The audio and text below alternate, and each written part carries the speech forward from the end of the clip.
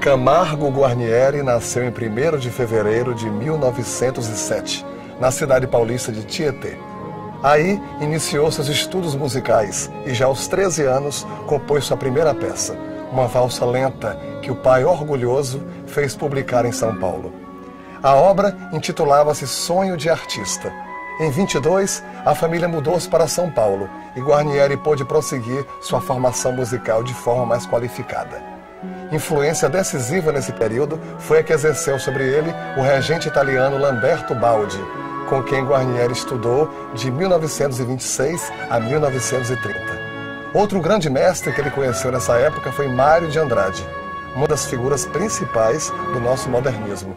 Guarnieri guardou sempre um profundo reconhecimento a esses dois orientadores de sua carreira artística. Devo toda a minha formação humanística a Mário de Andrade. Traçou um plano para desenvolver minha cultura geral e, além disso, me emprestava seus livros, pois naquela época eu não tinha meios para comprá-los. Assim, aprendi a amar os livros, a respeitar os que realmente sabem, a ser honesto comigo mesmo, a ser franco e leal. Este tem sido o lema da minha vida, e o melhor exemplo que tive foi Mário de Andrade. Uma bolsa de estudos em 1938 permitiu a Guarnieri aprimorar sua formação musical em Paris. Uma fase fecunda de descoberta, de ampliação e confirmação de seus pontos de vista, objetivos e aptidões. Em 1942, Guarnieri recebeu da União Pan-Americana um convite para permanecer seis meses nos Estados Unidos. Isso lhe possibilitou travar conhecimento com músicos de relevo e familiarizar-se com a música norte-americana, além de promover a divulgação de suas próprias obras, é claro.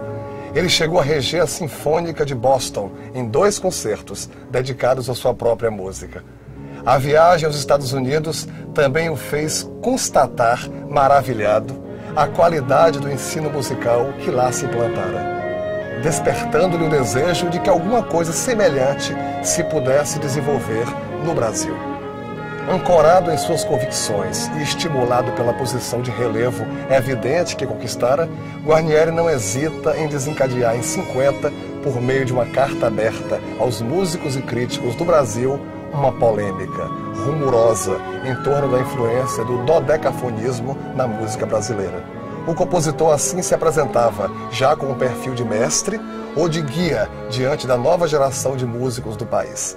Em 75, foi fundada a Orquestra Sinfônica da Universidade de São Paulo e Guarnieri foi designado para dirigi-la. Durante os anos seguintes, foram sucedendo-se em torno do compositor as expressões de reconhecimento, homenagens e distinções. Sua extensa obra sobressaía como uma das mais notáveis e ricas da música brasileira. Camargo Guarnieri faleceu no dia 13 de janeiro de 93, Pouco antes, em dezembro do ano anterior, ele foi agraciado com o prêmio Gabriela Mistral, oferecido pela Organização dos Estados Americanos como maior músico das três Américas.